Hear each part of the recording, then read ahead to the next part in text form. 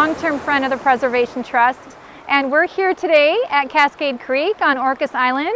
And this creek is actually one of the only creeks that has coastal cutthroat trout, but it also has Pacific salmon. No other creeks in San Juan County have that. So it's a very special stream.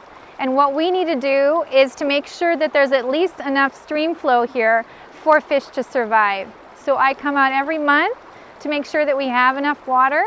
Um, and I do that by getting total discharge readings.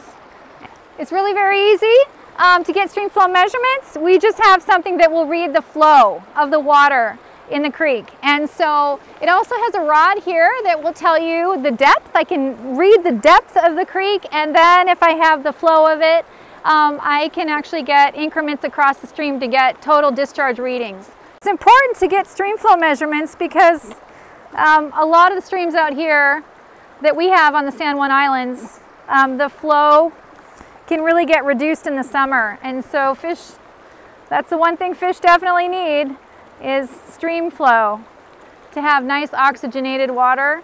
And we just need to make sure that they are getting all that flow.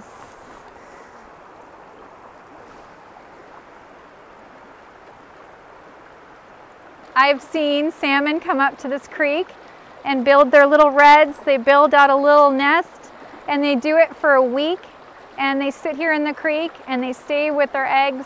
And to me, it's really important that we still have something wild left here, something that is wild for future generations.